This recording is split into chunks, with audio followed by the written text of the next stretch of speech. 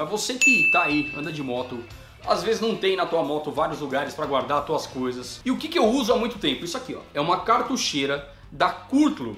E o que, que é uma cartucheira? Cara, é uma espécie de pochete, tá?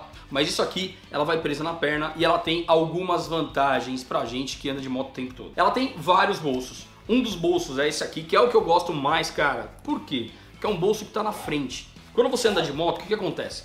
A tua perna ela fica mais próxima, né? Como você está na posição de pilotagem ali, a tua perna ela fica mais próxima do teu braço. Então é fácil você mexer na tua perna, mexer na cartucheira quando você para no farol ou quando você vai entrar na tua casa.